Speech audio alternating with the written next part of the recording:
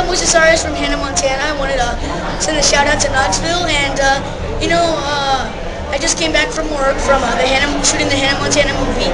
Uh, it was really fun. I still have cake on my hands if you see the orange on it. Uh, I was uh, doing a scene with Mitchel. It was really fun. I got to hang out with Miley and everybody again.